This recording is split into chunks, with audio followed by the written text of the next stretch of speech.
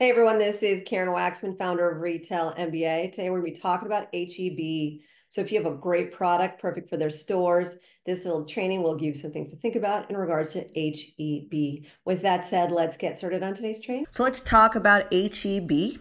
It is a privately held supermarket chain based in Texas. It has over 350 stores that they're responsible for, mostly in the United States and Texas and so forth. So that's a really big deal. They also have locations in Mexico. The things to think about in regards to them is that they sell anything from bakery, dairy foods, general grocery, meat, pharmacy, all that good stuff that they currently sell on grocery chains.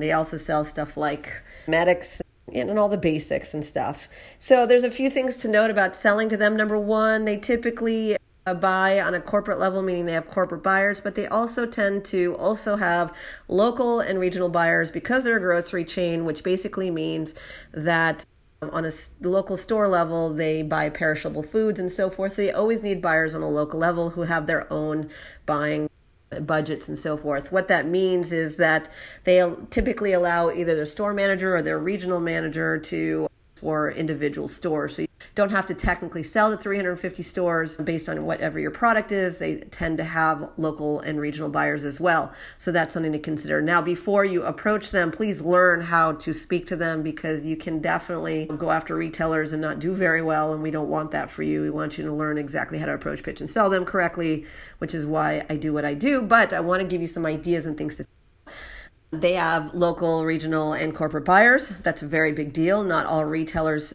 offer that, meaning that you could drive in your car and go to their local your local store and see if you can sell to them on an individual store basis. Again, please learn how to deal with that if you're going to go that route, but it can be very exciting. I've had clients who literally go store to store opening up accounts and so forth. And then they work with the corporate buyers and so forth. So you can start small and grow that. Another cool thing about HEB is that they started opening these plus stores, HEB Plus, and there's not that many of them, but it's a new way of selling products. And the reason I mention that is because they started to expand their non food categories. So in these certain stores, they're adding stuff, all sorts of varieties. They're selling do it yourself products, Texas backyard products, baby card and party products, cosmetics, entertainment, housewares, and toys. They're trying to grow their size of their store, and then also what they're actually selling.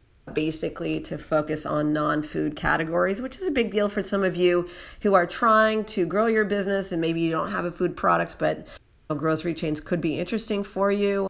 And so, one thing to think about is HEB Plus stores. Definitely something to consider. The other thing is that HEB has locations in Mexico. And the reason that matters is usually the buyer in Mexico has a different buying power, different budget than the one the United States. And so something to consider is you could conceivably sell to separate buyers in Mexico versus the United States. And so even though it's the same company. So those are just some fun facts and things to think about in regards to selling at HEB.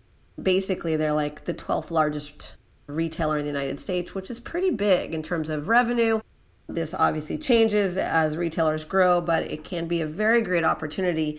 And one of the reasons I decided to create these little videos is because some of you guys have never even thought about these grocery chains. So I try to share light on them uh, because maybe you don't live in Texas or whatever. And so you're not paying attention to certain retailers. So just because you live in another state doesn't mean that you shouldn't go after these types of stores. Anyways, hope this provided value for you. If you want to learn exactly how to approach, pitch, and sell HEB grocery company. Definitely take a look at my website, retailmba.com. We have free content. We also have advanced retail training on exactly how to approach, pitch, and sell to retail chains that you can purchase. We also have live events and certification programs and anything related to making money with the physical product and so forth. So definitely take a look at that or just subscribe to our channel and be on the lookout for free content that we create.